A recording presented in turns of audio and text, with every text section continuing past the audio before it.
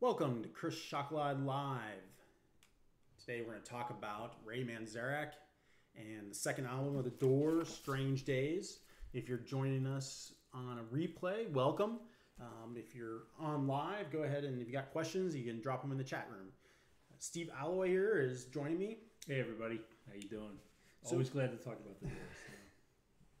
We uh, talked about them about a week ago, or no, a couple weeks ago. We mm-hmm. were talking about Jim Morrison. I think both of us were after after kind of diving into Jim Morrison, wanted to talk about Ray mm-hmm. because it seemed like he was more key at keeping the band together and forming the band, The Doors, mm-hmm. than even Jim Morrison, even though he's the iconic face of of The Doors.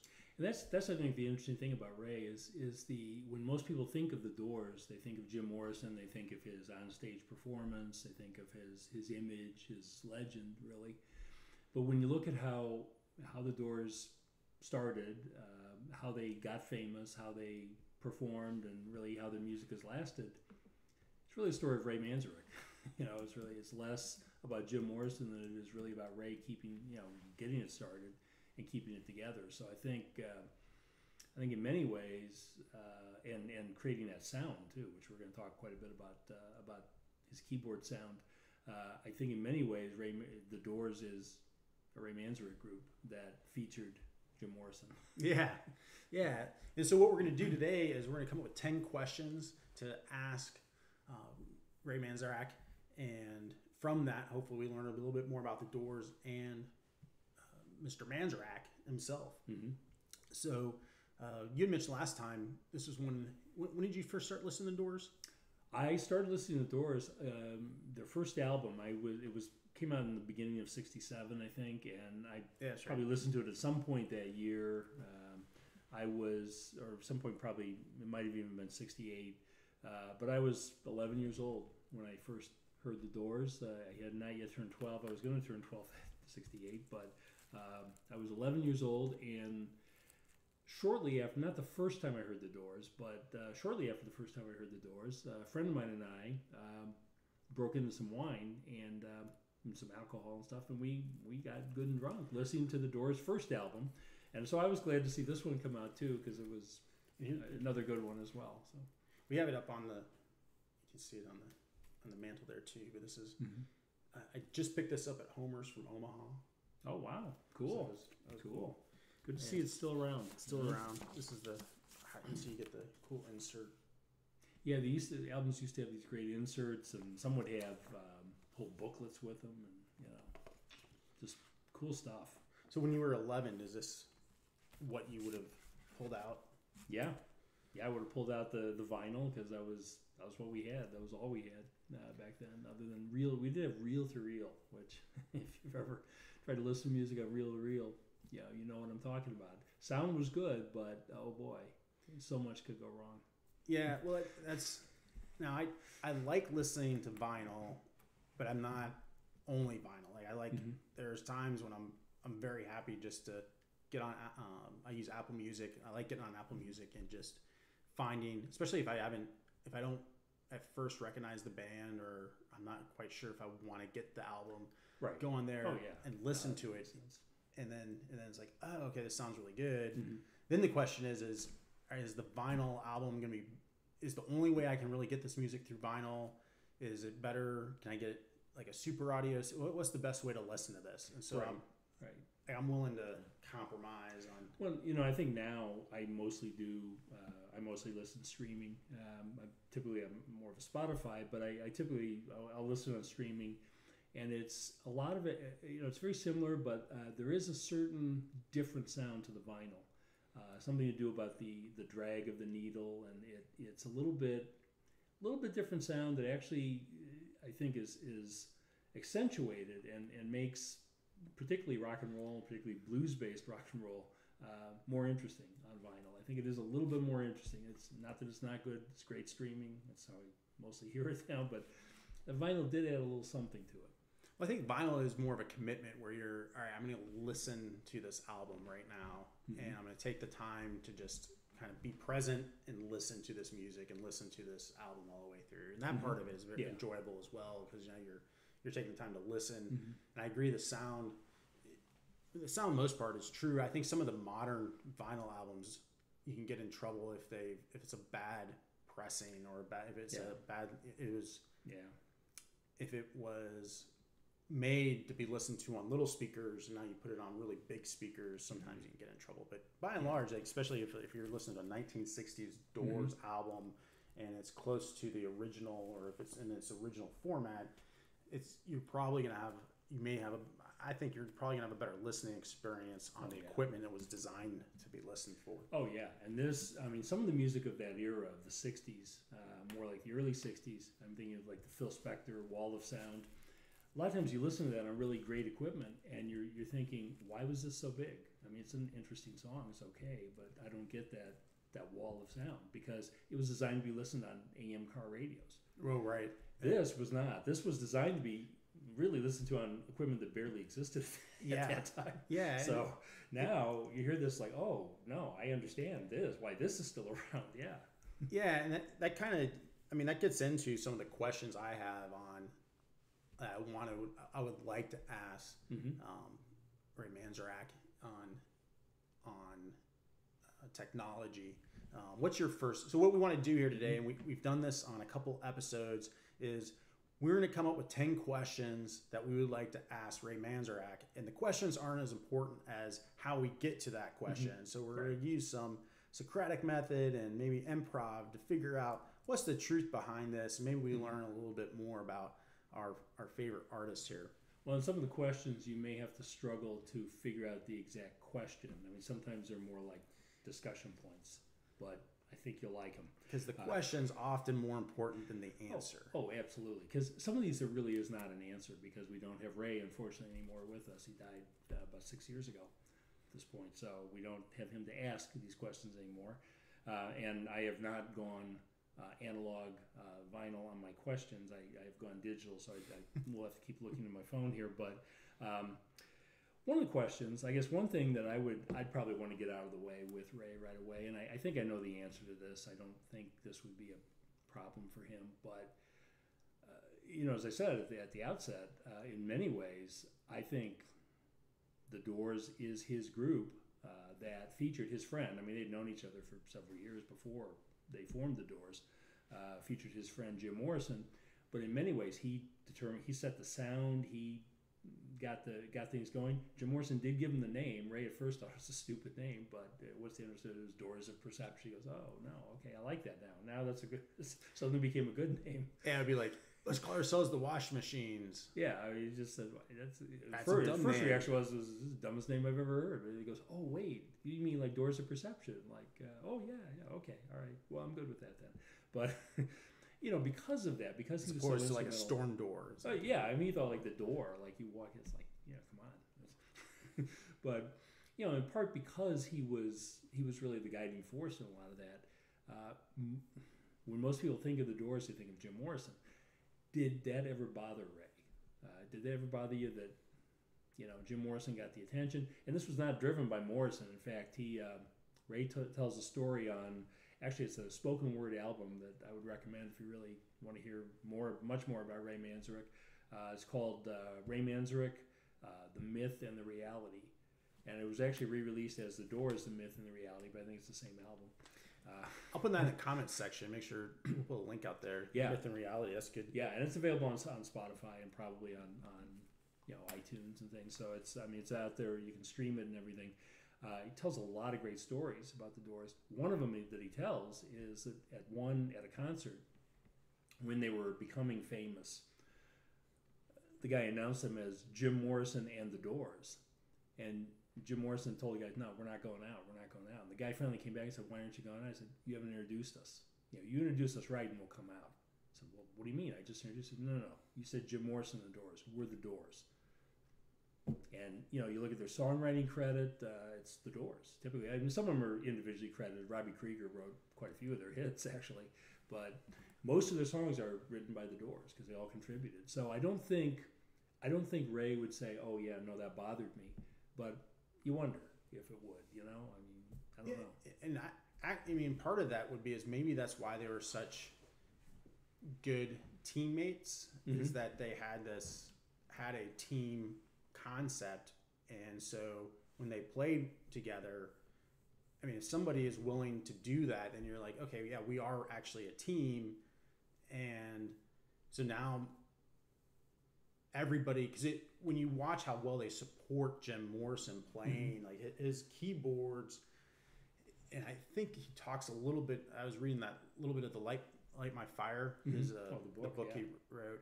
Talks a little bit about this idea of, you know, when you listen to how, how you listen to jazz or how you listen to some of the blues artists, and sort of the give and take. Like, how do you let someone take lead? Mm-hmm. Well, maybe you know, maybe you play a rhythm that they can play over, or maybe you just Right. hold back, you know, a, a little bit on the sound, and, and and then that gives them the opportunity to lead on the song. So you got to be a tight team to be able to pull that off. And so if you're if you have, you know, is that harder on a if you have a prima donna on your Mhm. on your team and you're, you're saying is like did it did it bother like especially in 1967 i mean they've been playing each other for a little bit but was mm-hmm. that part of the reason maybe that that jim does that? I mean I, that's a good question.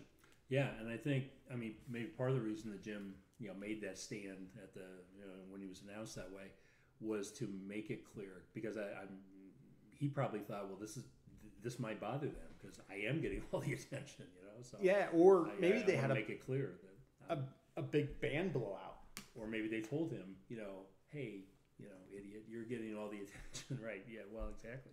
And then later on the media was like oh no we're all we're all friends Mhm. here but maybe it was like yeah maybe maybe there were moments where maybe they weren't friends for a moment. And they just had to have uh, some heart to heart, and that was like, no, we need to be the doors if we're gonna if we're gonna be tight and, and play like this. I, I think it's a good question. I think, um, And again, I, I think Ray would say, no, it never bothered me at all. I got to play my music. I got to play with friends, you know, an old friend, and then he became great friends with the other two guys too. You know what? I- made a career out of this. What what what could possibly bother me about that? I'm pretty. I think that's what he would say, but I'd like to ask him. he's still pretty. I mean, I guess he's not that. How, how old is he then? He's He was older than because he went to grad school. he He, was- did his army He was tour. pushing thirty that Yeah. point. He was a little. He was probably like late tw- twenty eight or so, give or take 28, 29 when he 20, started. So he's probably a little more mature and able to Mhm. handle that. Handle that. But that's a good question. Like Part, still, part of the reason he was the grown up is he was he was about five years older older. than the other the other guys. That was that was one of the reasons. Yeah, it, well, that kind of leads me into a question about his army. So Mhm. he, he does this. So the there's kind of the mythology that he that says he's in New York, he's drunk, he walks in the recruiter's office. Um, he says the army recruiter says if you want to shoot film, we got a great opportunity for you. You can do you can be part of Army um, Signals Command. They they produce films. This would be a good opportunity for you um, a way for you to make some money maybe and so he signs up Mhm. now I, I kind of like like i don't know how much because he's he's out of college. And he's done some grad he's done law school for a year Mhm. and he's done like some film school at this point Yeah, he started and then left.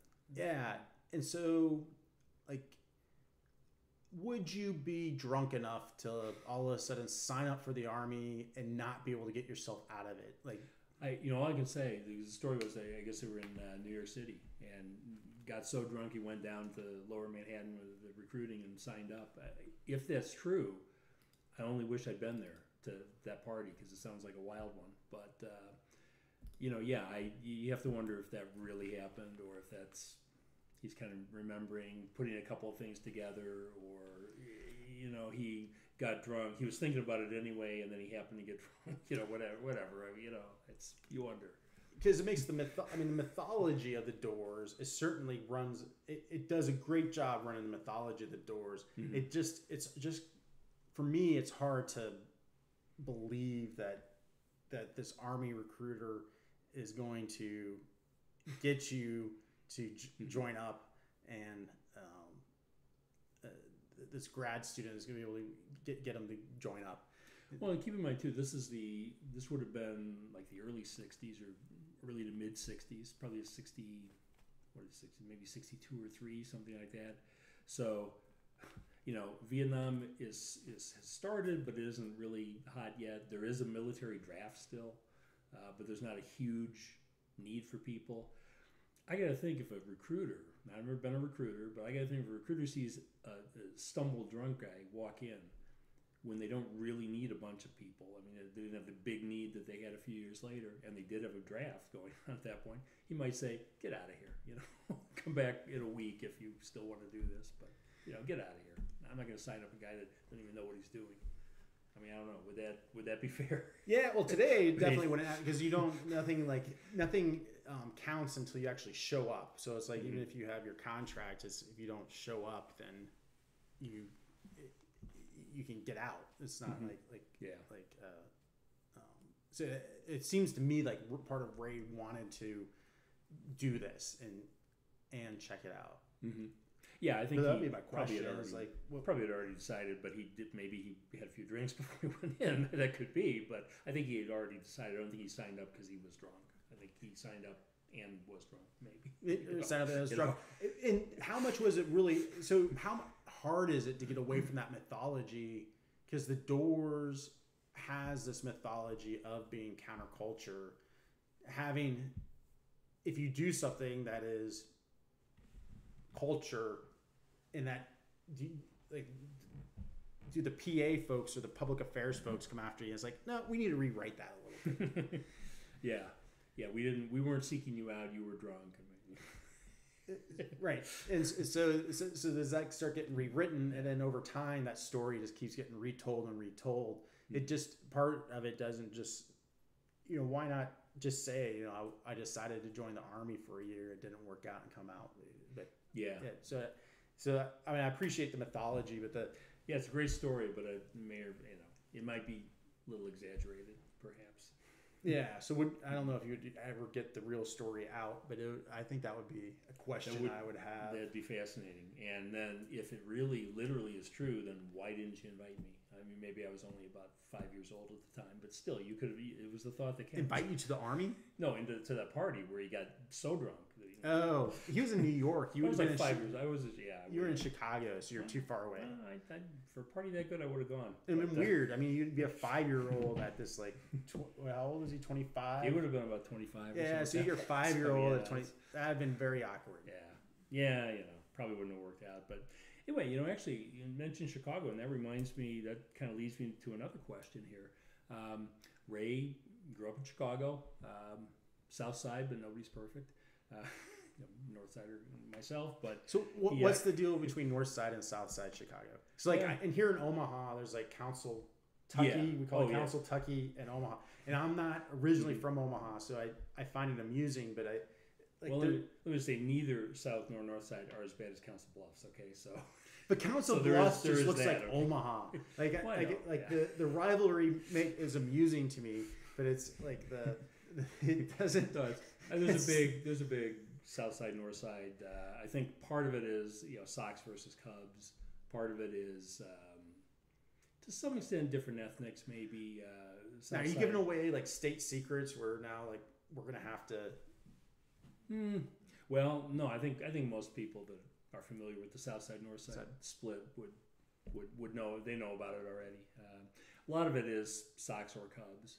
Um, and some it's So you Sox or Cubs? Oh, I'm well, I'm Cubs. I'm you know, I was a North Sider, so you know. Uh, but he, you know, Ray was Ray was a legit South Sider. Uh, grew up in at like 35th and Western, which you know, a very working class neighborhood still is. Always was. So you know like always will be. that- that's awesome because you know like when you, when you read his address, you're like, oh, that's what Mhm. that's pretty cool. Yeah, McKinley Park. Even of course he talks about it on the spoken word thing too. But he says, yeah, it was. He said he defines as basically 35th and Western. So, oh, yeah, okay.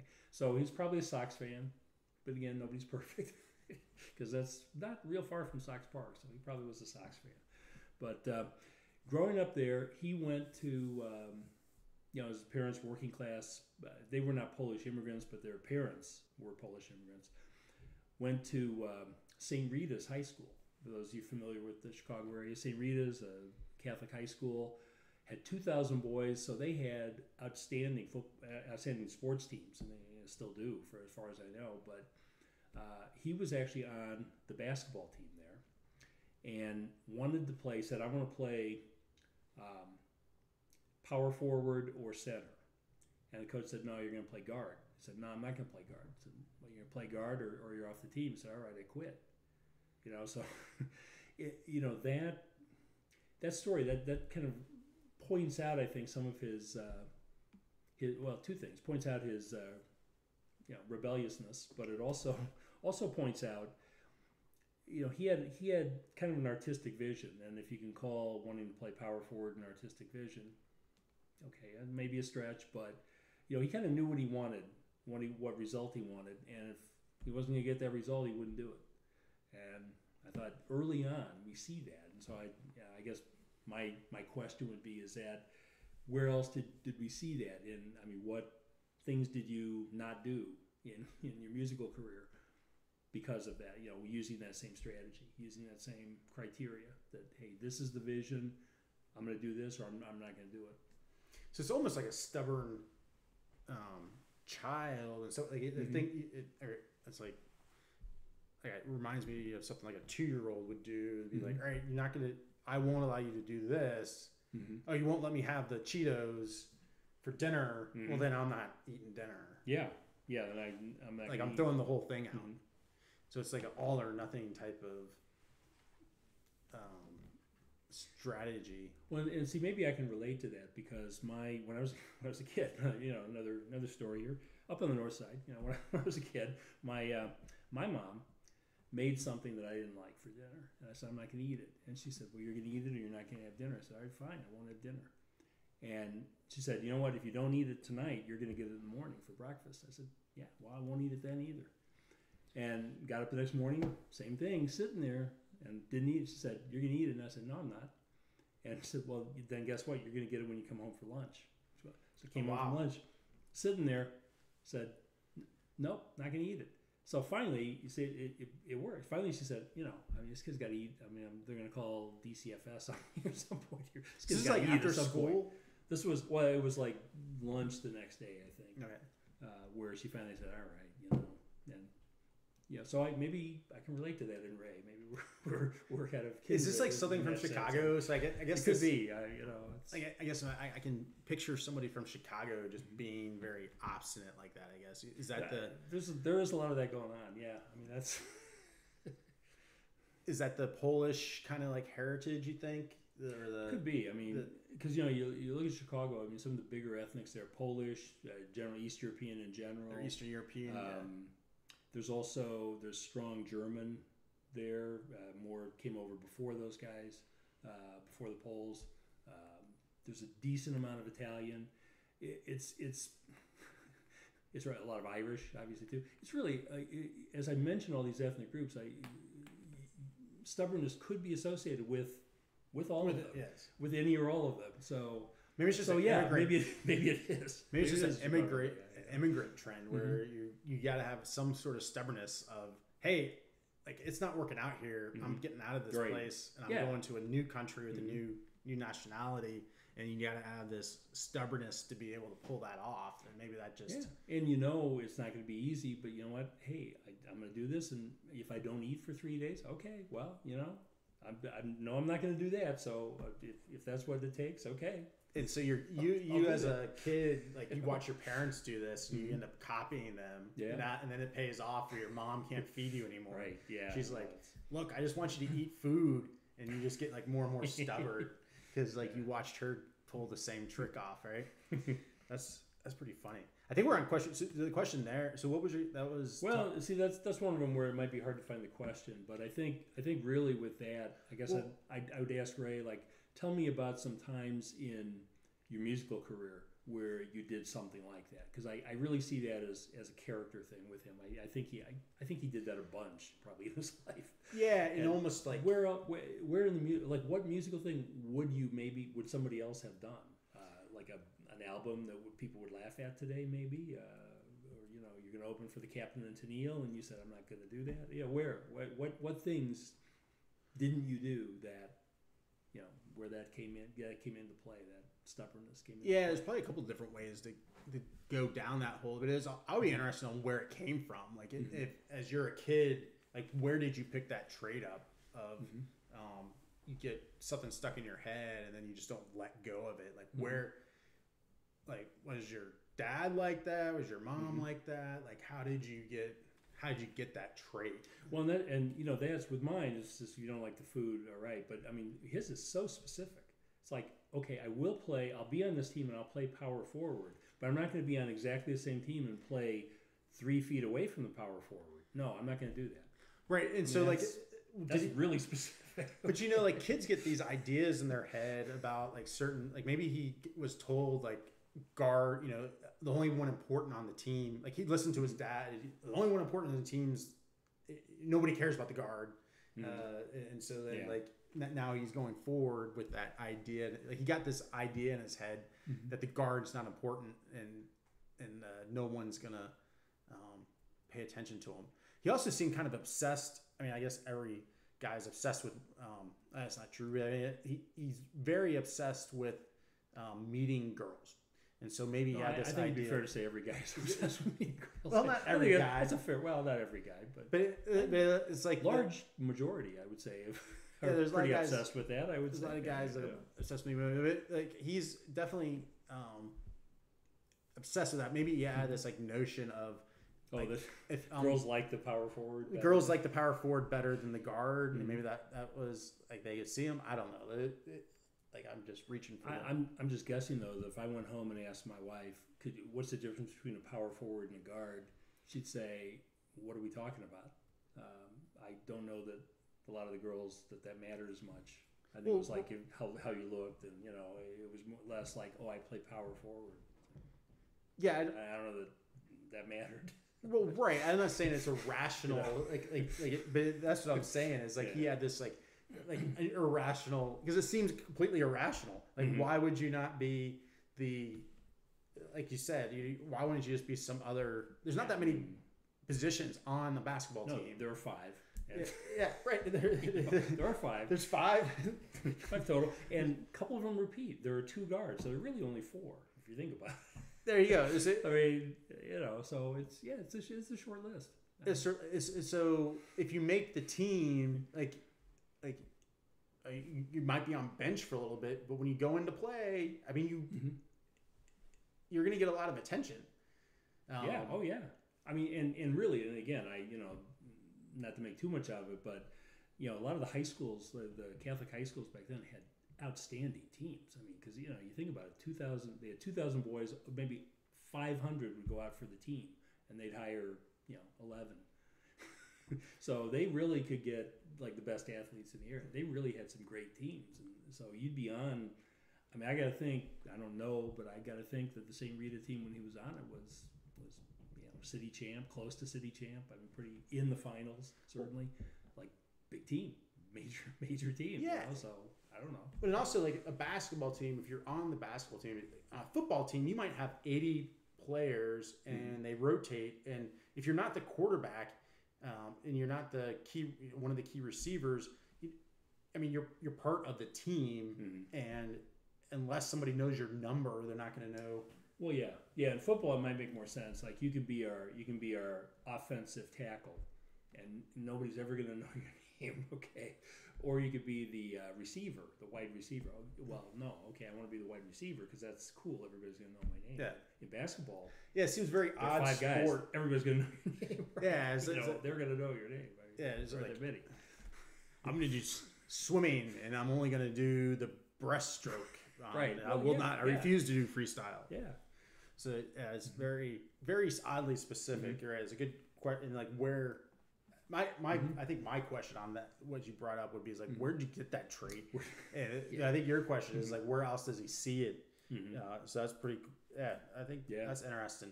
Mhm. I think we're on question. Let's see, that was question two. So all right. So we're No, I think this would be four because then we. I think we That's right. So you're well, with- yeah. So you're with question four. We are zipping along on our way to ten. question four. Well, I think.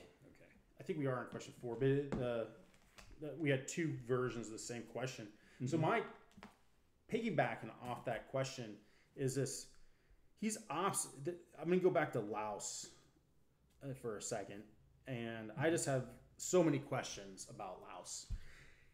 Laos the country, not he's not calling Ray a louse. Okay, just for I don't think anybody thinks I'm calling him a no. Laos. Okay, like Laos. we like we like Ray. I mean, Yeah. we're yeah. I think it's pronounced Laos. It's not late like Laos. it's, no, it's Laos, but Laos. It's, it, in English it's the same as you know a louse, right? so just to be clear, Isn't Laos also like a bug? yeah, yeah, it's it- it's like it's a individual lice or plural would be lice.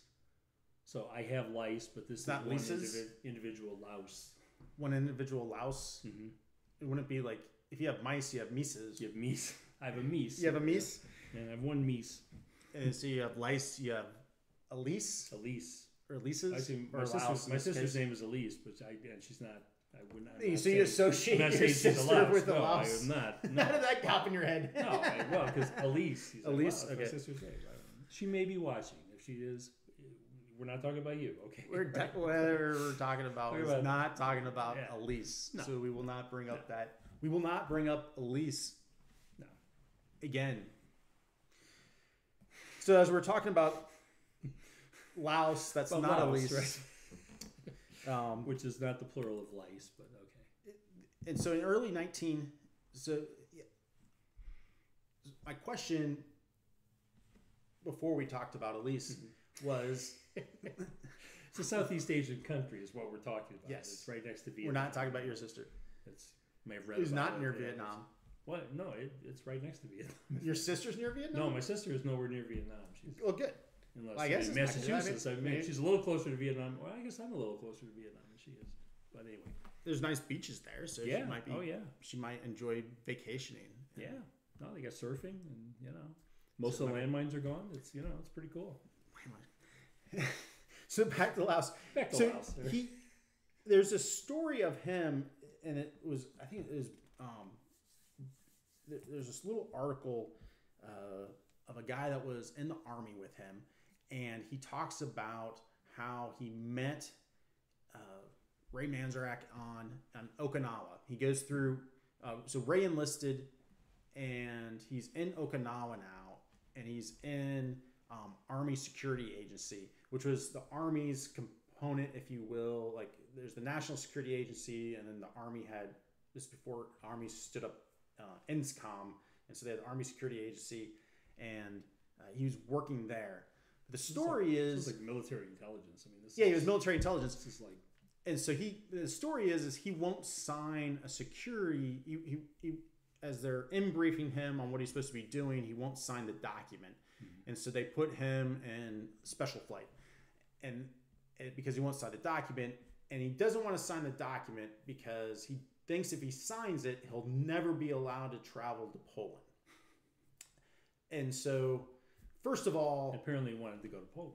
Now he had never gone to Poland, or beforehand but apparently he wanted to go to but, Poland. but Poland's under USSR. I mean, it's, this Yeah, is oh, USSR, it's- yeah, 1960s Iron USSR. Total, yeah.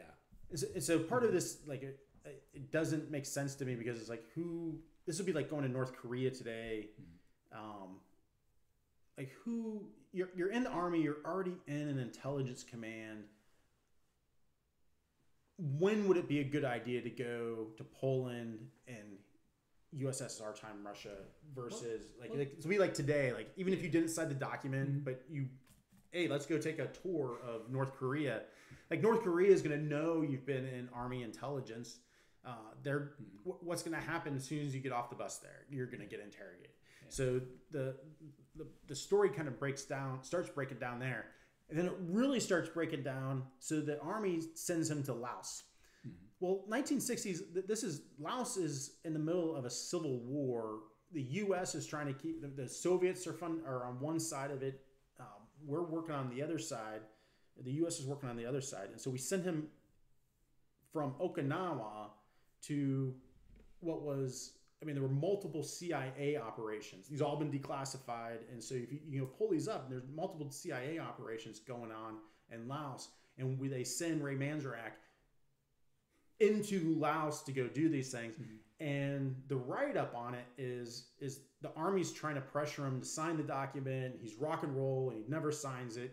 Um, and and so he's but he's in Laos and he comes out of Laos with a whole new appreciation for marijuana because he, he learns all he Oh, yeah. finds all We these found some different really good stuff there. he finds like he brought a lot home. A I mean, lot home. it for years, basically. I mean, he brought a lot. that's well that's the story Story. yeah. but that's the, like that's the story that's been that's told so my question like says I don't know that I buy like like personality wise okay he doesn't sign the document and that fits in with the the Fits story with the stubborn, but It fits in with the stubborn. Um, it just doesn't. It just doesn't mesh with me that he, he the army sends him to Laos and he's just like it is so hard to get. It's a remote location. It would be all the paperwork they would have to do. Not just the paperwork, but you're just putting bringing somebody in that's going to cause so much trouble that you have to babysit. Why would they do that? And then send him out. Like the story just doesn't make sense. So my question went to him was: Was he actually working for CIA? Did CIA recruit him when he got out of film school and he was doing like a one year tour? Um, and like like he drops out of film school, goes joins the army, and this is sort of like his socialization. And then he comes back and he's actually working for CIA now as because you got the counterculture movement, or maybe as an FBI asset. Um, coming in, it's my conspiracy theory on on Ray Manzarek.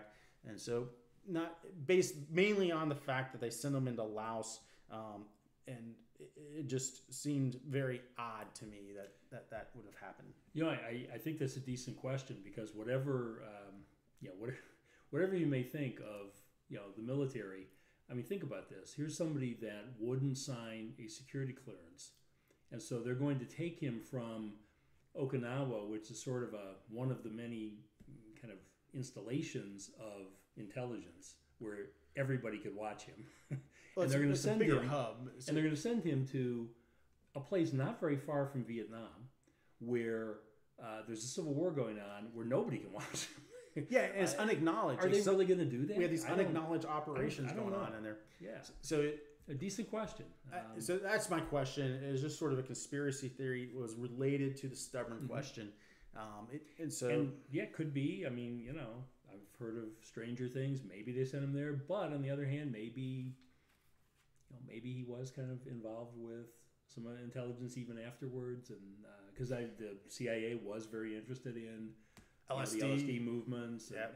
and rock and roll in general. Uh, we've seen a lot of reports to that to that effect. Uh, they were watching John Lennon, among others. They're watching uh, quite a few. so instead of being So, counterculture, he is the man. He is the culture. Ooh, you know, yeah. I mean, and and you know, you look at it's kind of interesting when you think about the Doors. We think about you think about that era. You think they're very anti-war. Yet here you've got Ray, military intelligence. Uh, you got um Jim Morrison, Admiral's son. son of like CINCPAC commander. Uh, Not CINCPAC command. He wasn't a CINCPAC commander, but he was a well, he was he was an admiral. admiral, you know, on the on the Pacific. So, you know, it's uh, you wonder, uh, you wonder how much of that, and and another thing too, which kind of leads into one of the other discussion points.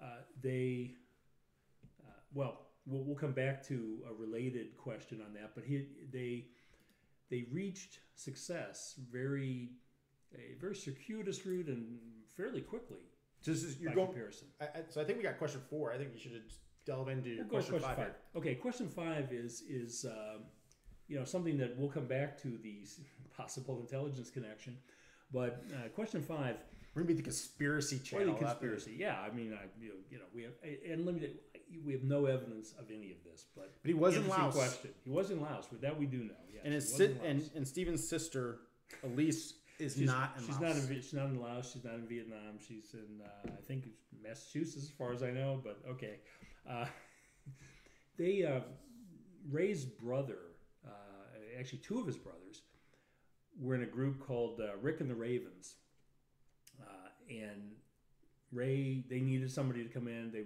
wanted the keyboards guy. They had they had Ray come in, but he couldn't use his last name. They called him, you know, Raging Ray something, Ray Johnson or something. he created a different name for him. But he played with them, and they were they would do. It's kind of a funny aside. They played at a place called the uh, Turkey Joint West, and Ray Ray great wife. Uh, they were married. They were together for like fifty years. Dorothy? Uh, Dorothy, yeah. Dorothy said, you know, do you, it, it- apparently it was like a dive. It was all, it was like wet. It was right near the ocean in uh, Santa Monica, I think, and it was a dive. There was a turkey joint west, and she said, "Gosh, do you suppose there's a turkey joint east somewhere?" it's it was, kind of funny. I doubt that there is, but um, they would play there. They were like a surf rock group. For whatever reason, now okay, this is probably mid '60s, about '64 or five in uh, Southern California. Beach Boys are obviously big. Jan and Dean, you know, the Ventures. There were a lot of surf rock groups. And these guys were not at that level. So why does like Rick and the Ravens? Yeah, Rick and the Ravens, they were not at the anywhere near the level of the Beach Boys or anything like that as far as popularity or, or anything like that. But they suddenly are under contract with Columbia Records. Rick and the Ravens. Now they never actually made a record. So what you're saying, more interesting, right? So you're saying what you're implying here is that perhaps there was like government intervention to to to uh, this is Well, like you know, you wonder because I got to think in 1965 in Southern California, there must have been 200 surf rock groups. And were these guys, you know, that good? that Columbia Records signed them but never recorded them, by the way. So that's maybe that's even more interesting. Yeah. Uh, they were good enough to sign but not good enough to record. Well, and then the even, even more interesting from that, um, then once that contract, that group basically kind of fell apart. Some of the other people quit and everything. So, well, see, but Columbia kept Ray. yeah, He said, "Why? I got another. I can get another group." He had put the. You know, he had just run back into Jim Morrison after you know all these years, and and he was putting the put the doors together. So so they were originally under contract with Columbia too. So a group that didn't even exist kept that contract. I mean, they really wanted him for some reason. Now he outstanding talent, yes, but was there more? I guess I don't know. I guess I, I think it's an interesting question. so how well because it either speaks to that the business acumen or the Mm-hmm. like that that Ray Manzarek had this was good at business in the arts industry, Mm-hmm. or um, was there some help? Like how how did he get good? Like what like you're Mhm. like how do you go from being an average band to have, being good? We were Yeah. talking about ACDC and uh, Angus and Malcolm, and they had like sort of their secret weapon was their brother George, who was in the band Easybeats and kind of Yeah. could help Mm-hmm. um, mentor them and gave them some access to places that uh, Yeah. that they normally wouldn't have. Mhm. Who was the Doors easy? Who was the Doors George? And the implication that you know, was it was was it because there's these government connections there that that opened doors in Hollywood at some or in the music industry in some Mhm. way? That's interesting. I don't. Know. Well, and just I, I mean, I've known a lot of bands that tried to get uh, contracts, recording contracts, and uh, you know, it's not it's not easy. And the fact that he just that they had one and he just kind of walked a band that didn't exist into the same contract. You know, Columbia Records too. This wasn't like you know Joe's Records. it seems Eddie's so. Records. when you read Columbia Records was like Yeah, when you giant of the era. You know, it still is. I mean, I don't know. Well, yeah, when you read these the uh, biographies and the when they talk about this, they make it sound like, oh yeah, when we got this record, like we were playing, and then we got a record contract. Uh, And it's like, It's like not- wow, Yeah, no, Like, there, there's more to it. it seems like it seemed uh, like you know, it yeah. was so easy in the 1960s to get it, but there's all these bands that must have been trying that don't get a record contract. So yeah, that's Yeah, kind of interesting. And they and they never now the one good thing that came out of that Columbia connection was uh, they never made a record, and they weren't apparently they were really getting a big clue that they were never going to make a record Columbia with with the Doors. But you know the guy said, hey, you know we're, we'll I'll call you eventually. Look, in the meantime, do you need anything? And they asked for money. He said, well, I can't give you any money, but hey, tell you what, Columbia Records just bought Vox, Oh, which wow. is a, an instrument manufacturer, pr- primarily keyboards and various other things like electronic uh, instruments. Said, you know what? They got this big warehouse out in the valley. You guys go out there within reason. You know, don't take you know hundreds of thousands of dollars, but uh, you know, just take whatever you want. You know, within reason. Yeah, take whatever equipment you want. No, so that's where he got all his great.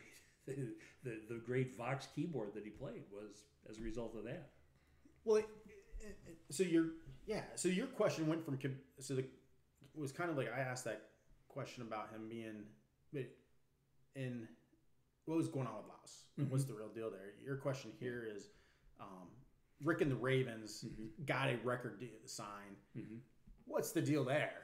Yeah. Okay, so that's I think that's a good question. And then what you led on to there is this thing with Vox. This my question. I got a follow on question Mm-hmm. that that this brings in on Vox, which I think takes us to six. Well, I, I actually I got I got a tag along question with the, the Rick and the and the Ravens thing. They were a surf rock group, and you can hear you can hear a little bit of surf rock in the Doors. Uh, sometimes the way they use the guitars, they use it mostly as a, a slide, and almost as a replacement for a sitar, which was a big psychedelic instrument of the era. You know, now basically appears only in Indian restaurants, but back then used to be all over rock records. Uh, you know, but surf guitar uses a, a, a slide, a twang like that, and they're usually using the uh, the re, the tremolo bar uh, to do it. But you know what? I, I guess I'd like to talk to him about any surf rock influences in the Doors and kind of see where you know, uh, like see if he if he sees any connections between because there were a lot of variety of influences that went into their music. Uh, what role does surf rock play?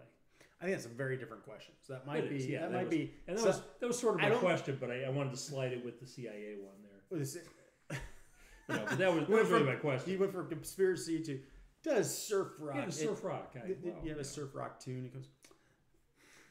That was a hard transition. to Yeah, make. well, it's, you know, Okay.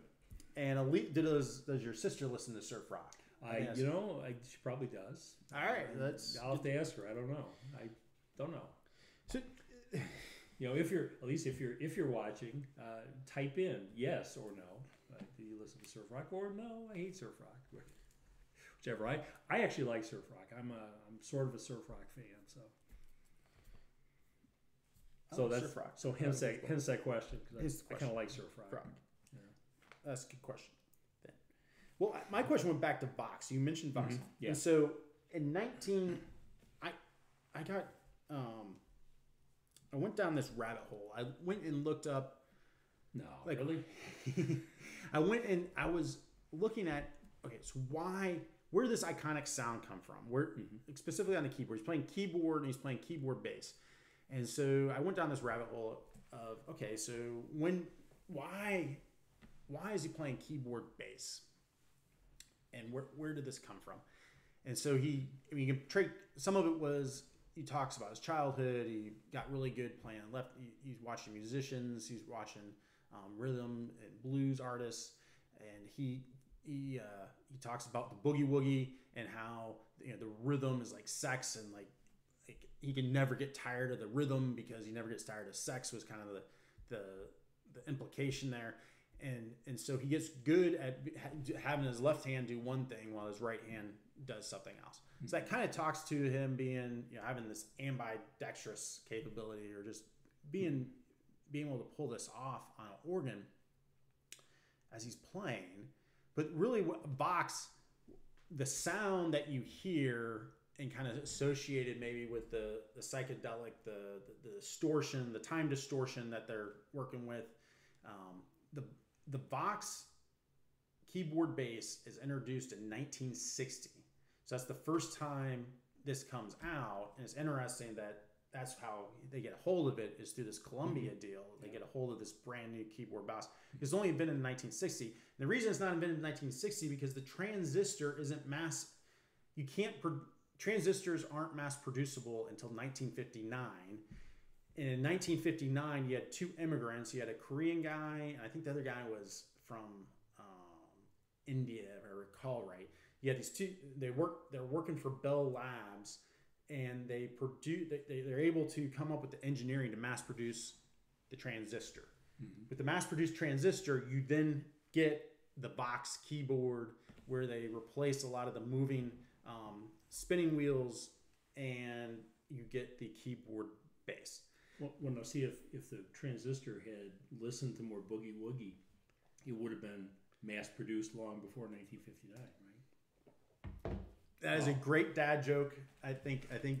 I think you get a Yeah, ten. yeah, okay. You get full points. You get full points. That is probably the, that is the best dad joke of today. the transistor wasn't mass produced in Wasn't that 19?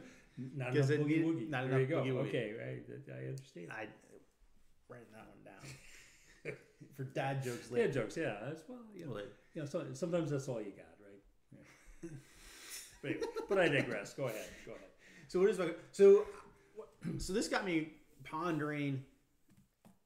Not it got me pondering that it, was the technology development more of this. So there was this. There's this.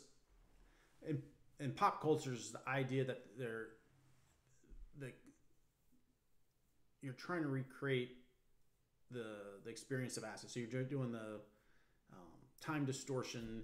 They're doing um, uh, trying to be somewhere outside yourself. I mean, I also guess in the trans. I mean, you can talk about meditation where you're trying to you know lose yourself, which which is a good story, but the technology is the keyboard and the keyboard bass, and it fundamentally comes down to the transistor, which comes up with this new sound. And so you have this new technology that comes out that's close to the organ, but different, and different enough that let's go play with it. And you see that today, I think, with auto tune. Like you see this huge boom in Oh, music yeah. and auto tune, which I think will die out because you'll like people will get, oh yeah, I've heard auto tune before yeah, now. well, kind of sounds the same. Yeah, so, right. And so- uh, yeah, So in this time frame, you have this new technology that comes out, and so let's play with the technology and see what kind of sounds we can come up with. Mhm. Now, I'm not like so. I'm not saying that that the the the Tim Leary and and and wasn't part of that kind of mystique on it. I think that story and mythology is important, mm-hmm. but really, I think my question is: is how much of what he was doing was technology driven mm-hmm. versus following the the pop culture mythology of how this how this happened. I'd just be that was Yeah. kind of my question because you when we were mm-hmm. talking, I remember talking about Jimi Hendrix and he he tries the wah wah pedals, he tries um, all these new things on the guitar largely because there's new technology that came out which was the transistor. And so there's, there's like boom and music uh, innovation going on in terms of the electronic uh, uh, in, in terms of what kind of sounds you can get. So you experiment. And so you get this experimenting culture. Obviously other lots of other things are happening politically and whatnot but how much of that is not being driven just by this technology coming out? So is is you know so really my question there is how much the technology drive that sound um, or how much would you think that, that technology drove drove the sound That's you know that's a good question because I I mean I would have to say um, that it was both really, but I think it's I think without the technology, it wouldn't have happened. So I mean it's you know on the one hand there has to be the desire to do that, but on the other hand if, you, if there's not a way to do it, then it's not going to happen. On the but on the other hand, if there's a way to do something but nobody cares, nothing's going to happen. But if there's a way to do it and suddenly people care, Yeah. I mean, thinking of LSD, LSD was actually discovered, you know, decades before the '60s, right but there wasn't the great desire to to do expanded consciousness. Well, when there was, oh boy, there it was. The technology was there. So, I think with with the with the with the Vox, it's it's much the same way. I mean, I think they're uh, it it's a little closer in time because I think that technology happened to come around at a time where music was looking to expand the sound a little bit. Uh, and so it, it there was less of a time lag maybe between 1960 and probably mid 60s where we start to see some groups doing it and certainly late 60s where the doors are all over it But is this now? This gets me thinking like a viral campaign because you mentioned Columbia hands the doors this equipment to go play, and so if you start handing these bands this equipment to go play with, and then any of these guys get popular at all, you now have it's it's a big marketing campaign for your Mhm. equipment, Oh, and yeah. then Oh, all right. these people are going to go buy that- your that's why they gave it to keyboards, free. amplifiers. I mean, that's why they gave it to them free. I mean, they I'm sure they were nice people, but the real reason they gave it to them free is they see people. If people see you playing this on stage, they'll want one. Yeah, and I And love the music. Guys. I That's mean, the real reason they gave it to them. it starts i mean it really starts sounding like this is more of a um, a camp like like you have the industry backing wanting you to play this type of sound to get people to want to buy your things. So you like if you were if you were really into this sort of Eastern philosophy, wouldn't you be using like tradition like you, like this seems like very much you've just jumped into corporate market marketing Mm-hmm. like like by as soon as you adopted those those types of uh types of equipment Yeah, yeah. Which uh, you know, interesting enough, that does kind of lead to uh, New- question question. question Seven? talking point seven here, Yeah. where I, I guess I, I would want to talk to Ray about um, his, the, all the musical influences that came in to create his sound because he he really did. I mean, there were other groups. There were you know Eric Burdon and the Animals. There were some other groups that were using organ primarily. Not a lot. Most groups were not. You know, organ was if it was there at all, it was a, a minor factor. Most of them were very big in guitars, but you know what he Ray really created a unique organ sound, uh, unique Doors sound, very specific, you know, sound based on a variety of influences. Uh, his parents grew up in uh, kind of the west side of Chicago, the Maxwell Street area, which uh, at that time, well, still is. I think they still have some of this, but at that time it had a, a Maxwell Street Carnival or Maxwell Street uh, Street uh, had an open like a Sunday morning sale, thrift sale on, out on the street, and there were a lot of blues musicians, and uh, it they really became they were first kids of Polish immigrants, but they became not fans of you know polka and accordion like you might think. They became huge fans of blues and boogie woogie, and they played these records around the house because they that, that was played in the neighborhood in the Maxwell Street area. So you know, Ray grew up with those, and that you can really hear that in his piano style. That it's like that, you know, they, he's doing that. Not always boogie woogie rhythm, but he's taking that that structure and doing it in different styles, perhaps. But uh, okay, there's one. Obviously, he was big into transcendental meditation, uh, as were well three of the four doors, and not Jim Morrison. The only one that you might think was was not was the only one that wasn't, in fact but the other three were into transcendental meditation at that time so they were listening to you know raga the kind of the, the sitar music the uh, so there that was an influence too and that became an influence particularly with robbie krieger's slide guitar he really turns his guitar almost into a sitar in, in quite a few songs on this album so I, I guess i'd like to talk about how those different influences came together and surf rock which going back to surf rock I, was an influence there too um, and of course regular rock and roll blues was probably their biggest influence uh, but the unique style was more than blues because there were blues organ players that don't sound anything like this like Ray. Ray Yeah. Oh, yeah. Yeah, I listened to his band. Was it Night? Um, um, yeah city night No. city night city the one after the doors yeah, night. night city i think it? Yeah, it might be Nite City. Look, at, and then it opens up, and you're like, "Oh, that's Ray Manzarek." But then as soon as the uh, vocals and stuff kick in, it has a very disco feel, and and it's like, okay, it, that was the zeitgeist of that that era when, he, when he had Nite City. Yeah, it's you know, but you could say it's still Ray. I mean, he's you know, yeah, still, so got, still got his unique style. the style with, with, with the iconic sound. Mm-hmm. Um, so your your question is like, what what were some of the influences? Yeah, yeah. like I guess I'd like him, to, like him to talk about you know how those how those blended and where um, you know I guess where he combined different styles. Uh, you know, you can hear some of that. You can hear. I mean, he'll sometimes take um, the boogie woogie style, which really is sort of a syncopated blues. You know, if you really break it down, and so he, but he would take that and slow it down in in some songs, like not on this album, but on uh, Morrison and I'm thinking Maggie McGill. It's a slower blues, but he takes that that what would be a faster boogie woogie style and does it slowly. yeah, It's, you know, very interesting, very interesting sound. So I mean, you can hear some of it, but I guess I'd, I'd want him to expand on that. I want him to talk about all that, how all that fit together. he was thinking of like slow sex versus quick Yeah, sex. well, yeah, it's a very slow sex song. You know, Yeah, that It's- comes in. That may be the answer. Mhm. Um, we probably shouldn't mention your sister after that. No, no, well, I, yeah, no, that'd be not inappropriate. from my personal knowledge. No, So, my question then well, so you they mentioned the sitar, Ah, yes. and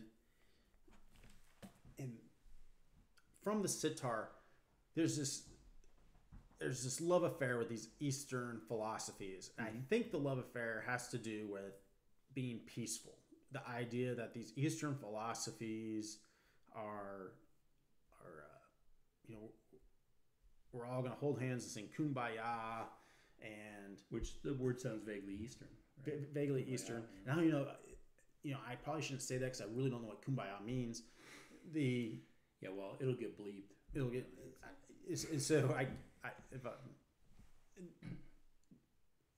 but there's this love affair with these Eastern philosophies, with the idea, the mysticism behind them. You've got transcendental meditation, and there's some good things that come out of these philosophies. My question is, is that if you think about the 1960s, the Eastern countries were large. you could say they're largely peaceful.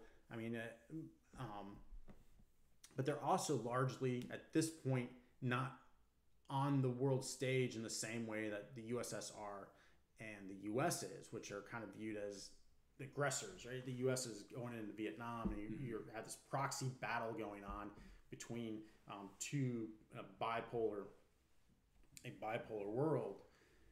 You flash forward to today, you have China, which is this rising authoritarian government. They've got, they have, um, they're throwing in millions and millions of Muslims are being thrown into these concentration camps. The Uyghurs, uh, they're being re re-educated. The Uyghurs, they've already uh, done things. Is, is that that kids rock group? No, not the kids rock group. Their ethnicity Okay. out, Ah. and uh, uh, they're they're one of many many different ethnicities that exist in mainland China. They they should really change their name. I, I think they wouldn't be as persecuted if they had a better name. That's really. Uh, So the per the the, the, the, I mean, they need a new name. I mean, the persecution is, is directly related Directly to related to their name. to I- what I your think- name is? Oh yeah.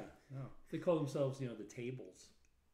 Who doesn't like a table? Who doesn't Really, like a I mean, table? why, do you, why do you hate a table? Who I- hates tables? I think we got to avoid that altogether Oh, because there's okay. like there's several ethnicities you could jump Hey, into. we're the tables. We're happy people. We, we lie flat. We're you know we're, we lie flat because we're we tables carry for the things. doors. We can put things on us. Yeah, I just at the tables. I, anyway, anyway, I digress. We're the periodic table. We're the periodic tables, right? Yes. Well, so the, the uh, so yeah, there's a, chemicals. I, you know. really well uh, well the the eth- they're doing these really bad things to um, ethnicities which are not peaceful at all but but it's largely where these philosophies are associated with right? you know China, mainland China um, India is a rising power and has it has a massive conflict going on with Pakistan and the Kashmir uh, region uh, uh, amongst other uh, there's other conflicts on the on the Indian border and large, as, as that region develops, and so the Eastern philosophies eh, don't look so peaceful today. Like you Right. you look what's going Well, Eastern on countries certainly don't. Yeah. right as as they uh, grow in power. Uh, you got the Ku- uh, you, um, Burma. Um, you can think about what's Oh, going on there, uh, right? So, so there's all these places where you thought, oh, you know, they, they, there's this peaceful philosophy going on, Mm-hmm. but as soon as they kind of get power, like the what seemed peaceful may not have been so peaceful.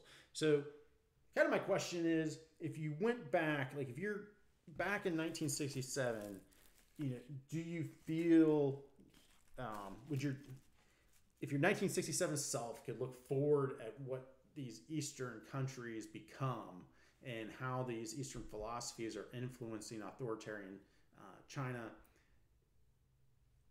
would you have the same love affair, or maybe love affair is not the right word?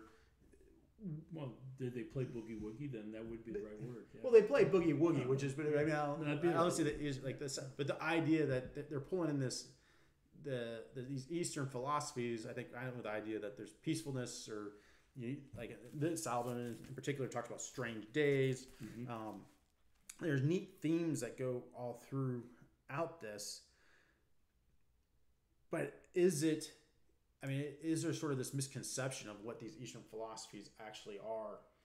I guess is kind of the root of my question. But if you for Ray Manzarek, uh, my question would be is if you're if your self in 1967 looked forward to today and what's going on globally, um, how would that have changed your interest or your um, uh, enthusiasm for some of these Eastern philosophies? Would Mhm. would would that have changed sort of your um, Mhm. um, your outlook on on some of this stuff?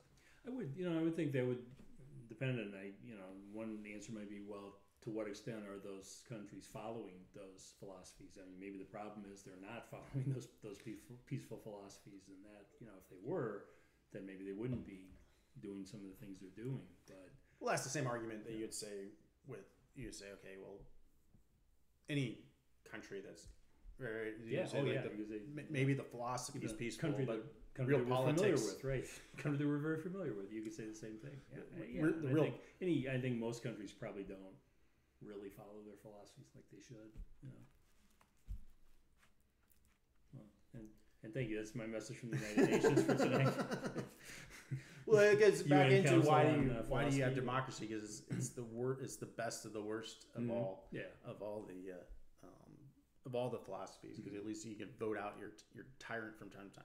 Mhm. So yeah, so I mean that's that kind of uh, that's why I would ask that question just because they're using this they're using these things from you said the the sitar Mm-hmm. why Oh, yeah. play this I mean it's inter- it's great that they're bringing all these music items or bringing Mhm. all these different sounds in but at the same time they're bringing in the okay the brand new electronic sound if you're really trying to bring in sort of new sounds there's other things besides the sitar you know why Mhm. isn't there like a didgeridoo going on and you know why aren't Mhm. you playing like where's the rain sticks going you know like like Well, yeah. paul simon brings in like goes Oh, around yeah. the world and finds these Yeah.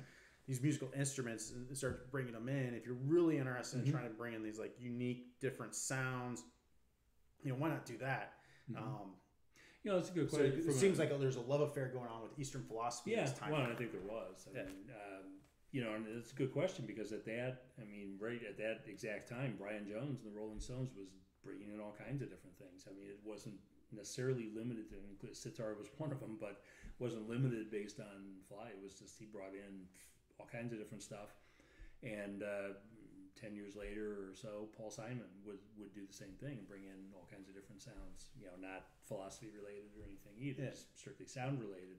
So yeah, there probably was a focus on, yeah, on certain sounds um, that they wanted to bring in, and and yeah, I mean that's a good question. Well, like how, to what extent did that? And that kind of, I one of my questions was, I, I know they were heavily involved in transcendental meditation. At least three of the four were. Yeah, it's question eight. Is this the question This, this would be. Uh, well, I think we're up. To, I think this would make nine. Question. I was say. Ooh, yeah, I think it'd be nine. But um, you know, and, and it's somewhat related to yours. I mean, how what role did that play? I mean, I know that that transcendental meditation played a huge role in the group being formed to begin with, because apparently They all when- showed up the same meeting. well, but is that like how much is Yeah. that really like like the idea that they all show up to a train? So what Mhm. if it had been like a homeowners meeting? Would you still say like the homeowner association was really key to bring that like they all Well, just I- happen to live in the same living in that same area. Area. You say, well, the, the, they lived there was it was key. You know, I mean, yeah, it was key that they were in the same geographic location. And you wonder, you know, you wonder how, because this was uh, Maharishi Mahesh Yogi, the same, you know, the Beatles were involved Yeah. with him too. Uh, John Lennon less famously maybe than George Harrison, but uh, you know, how much did that impact their uh, their musical choices, their sound? Um, and I don't, I when I say heavily involved, um, I know Ray was sent to the meeting because he was falling asleep trying to read the book that this Columbia guy gave him. He's, um, yeah, I'm, I'm getting, I'm relaxing. I'm feeling very relaxed. I fall asleep when I'm reading this book. I'm not getting anything out of this. So he sent him to this meeting where he met. He started talking to John Yeah. Densmore and uh, said, "Hey, you know, they found they had a great. They both were loved jazz. They were jazz fans and listened to it a lot. Didn't really play it, but you know, liked some of the influences from jazz." and uh, said, "Hey, too bad we don't have a guitar player." And was, "Oh, well, he's a guitar player, put Robbie Krieger." So, um, you know, and that that combining with meeting running into Jim Morrison just shortly before that, there's the doors right there. So, I mean, it did it it did have an impact in their meeting. I mean, what how much did that carry over? I guess to the music. I guess would be a, my my ninth question here. Yeah, do they? It, it doesn't seem like right? I don't know. maybe it had a lot to do. I don't know. It seemed like would Oh no, maybe that is eight. I don't know, or seven or whatever. Yeah. no we're we're eight, so good. Oop, we just backed up one. Well, I think that the follow on to that was, yeah. So if it were like I don't like the um when you look at Jim Morrison's addiction issues later on, Mm-hmm. it would seem like maybe I don't know. I just had this idea that if you're trying to be very present, like if you're trying to translate, like if you're trying to become very present, um, he's not being very effective at becoming very present. But you Yeah. said like Jim Morrison himself Well, wasn't Well, he wasn't involved. he wasn't Yeah. involved, but the other guys are. So maybe that's true. Like the other guys become very. Uh, maybe that helped them, um, and and the idea that they they stay present and like you know how we want to work hard to, to Mhm. produce really good good music. Yeah, and, and somehow, um, as I was thinking about Ray in particular, somehow, you know, Ray stayed very edgy and very, you know, on the on the art cutting edge, but also stayed very practical. Uh, was able to put these things together, keep kind of keep things running, and so I don't know. There was he did have uh, kind of skills in in, in both areas, he, he knew how to make money from his art, which is Mhm. not. which is it's hard it's hard to do. Yeah, not everybody knows how to do that. Yeah. Um, that's good. So yeah, we are on our question nine. Ooh. Uh, so on that art question, Mm-hmm. Uh, I have one on. So at UCLA, on. I think it was in Light My Fire. His book talks about like at UCLA at the time the philosophy was art first, commerce 2nd Um, the idea that you you you you your art should come first, and then try to stay away from from commercialism. Um, there's this fight later on. I guess that's not really to the. So like how did we talk about stubbornness and um, later on in Ray's life, there's this uh, Doors battle between I think it's the drummer John Densmore and Ray um, Manzarek and Bobby or Robbie Krieger, and and uh, if they should release some songs commercially, and I think it was to Cadillac or something like that if he goes back to when Strange Days comes out, when he goes back to when Strange Days comes out, I mean, it, how much? I'd be interested. My question to him is just sort of that question. He writes about art 1st commerce second. I would like. I would be interested in hearing him in 1967, just kind of talk about what that means to him in 1967, art first versus um, commerce second, and how he kind of and and how um, he puts things into different categories, meaning that all right, so you're using this bass or keyboard bass, but you're advertising with it Mm-hmm. effectively. Yeah. Yeah, you you need to put a single out that is commercially successful. Otherwise, uh, I mean, you can still produce will records. Yeah, your label will drop you, but you could Yeah. still be a band and still play, but your Sure. label's going to drop Yeah, you. you won't make records. But you won't make At least with them, you won't make records. yeah, you won't make records with Elektra, and so which almost to me seems like it's commerce first to enable you to do this art versus art first, and if you don't like it, well, fuck you, you know, like Well, like when I think- my art's bad, then nobody cares Well, I think UCLA because Film you don't School- understand it. I think they later changed their motto to tuition first, art if you have. I think was, was Art, is yeah. their new motto now. Art, yeah, pay, pay pay to play. Say Tuition first, pay the cashier. Cashier. Oh, art, yeah, maybe. So how do you? And part of it is that cognizant. Well, that, that- but, right. So how does UCLA deal with that? Was it cognizant cognizant dissonance? Co- cognitive dissonance. Cognitive Yeah, dis- cognitive dissonance. dissonance. How does he do that? Deal with that cognitive dissonance? Dis, dissonance. I can't say that We word all, we all know what you mean. Like cinnamon, cinnamon. Um, and so, so I would like to ask the 1967 Mhm. um, Manzarek kind of that question and and just hear you know hear hear how they're hear how him and then how he, they they kind of work through that Mhm. um, at being the doors. Yeah. So I think that brings us to question ten. Question ten. Unless you got to follow. Well, and, and question 10 again is, is probably more of a talking point um, and more of a how'd you do that or tell me more about that because um, you know, on this album in particular, just thinking specific to this album, um, he uh, we've already talked about turning the guitar into a sitar with the uh, slide, and a lot of groups use slide. I mean, uh, country groups and bluegrass and stuff, and for years have been using slide. I would argue they use slide differently. Uh, Robbie Krieger uses slide as a uh, to create a different sound. It doesn't sound like a slide guitar. It sounds like a something else, like a sitar or something. On a couple of the songs on this album, Ray actually takes the harpsichord and turns the harpsichord into a blues rock instrument, which I, I don't know that Bach had that in mind.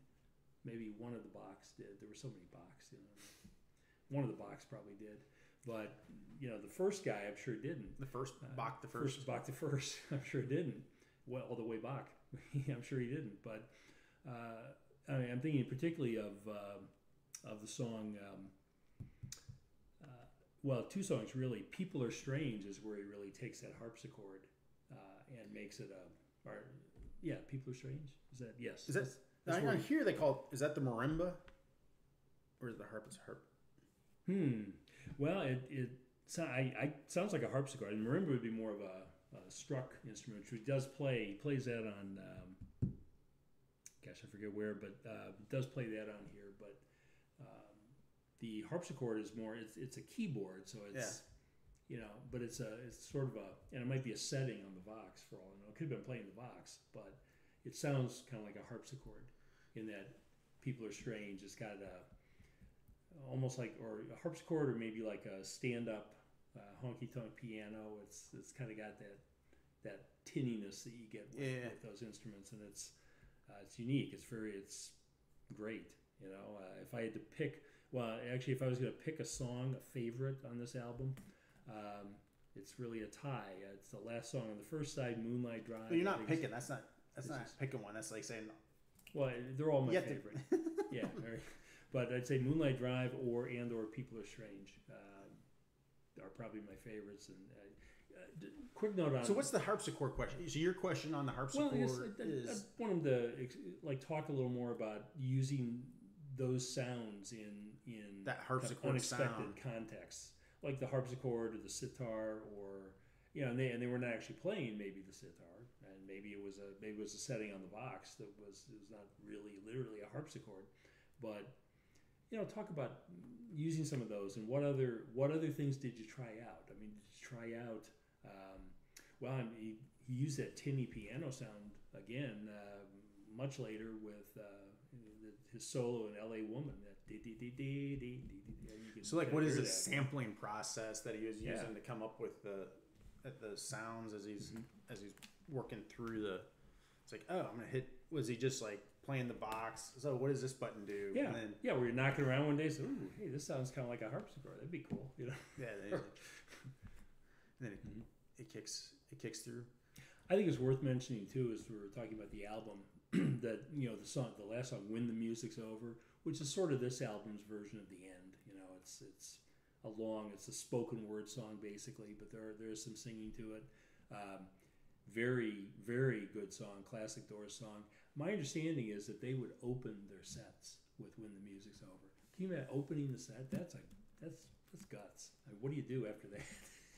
they would open. I've seen some of the some of Wow. the videos of people listening to them. Like they're all very just sitting down and they're staring at the doors playing. Mhm. and they're very like they're dressed up very nice and they're not quite like there's a lot of people in the audience that are not quite sure what to do with these folks and it's it's like they're Yeah. it's like it's kind of interesting watching the just sort of that they're it's new so that people Mhm. are not quite sure how to re, how they should react so yeah so if they play that song how did that go over to the crowd and would, do they go home and like I can't believe they started with Yeah, the music's over That music's over. that band that band needs to just no we can't listen to that they band need to again know when like start and finish. They need to define that. But that's it. No You know, more band. You know, I think in, in, in a lot of ways that's really what makes the Doors uh, unique and, and memorable, and I think why they're why we're still talking about the Doors uh, is that they were not easily categorizable. They sounded different than other groups at that era, and um, you know I think that difference really has has you know made them made them stand out and made them still stand out. I think I think you're right. I think that's why I was, I was glad we got to talk through Ray Manzarek. We went Mhm. through. I think we went through all ten questions. Yeah, And um, I didn't say my Ray- bonus question there is, what happened to Patty? Like when the Okay. band first started, Yeah, yeah. like you had a bassist called Patty. Did Mhm. did you Ray just like decide to? Uh, you're like, did Patty do something to make the whole band mad? And then that was like, all right, now I'm the bassist. That was the bonus question. So that was what, what happened yeah, to Patty. that's good question. I, I don't even have a good theory on that one. I, I don't know. I just don't know. So today we actually went a little bit longer than um, than we were last time. We went. We talked about uh, Ray Manzarek. We talked about Strange Days a little bit, and we went through and came up with ten questions we would like to ask him. And through that process, we learned a whole lot more about Ray Manzarek. At least I did. Oh yeah, I learned a lot about him, and I, I already was a was a big fan, and he you know, and listening to his his spoken record and reading about him, I mean, he really strikes me as the kind of guy I would have liked to have hung with. I mean, you know, Jim Morrison I think would have been an interesting friend, but a little scary.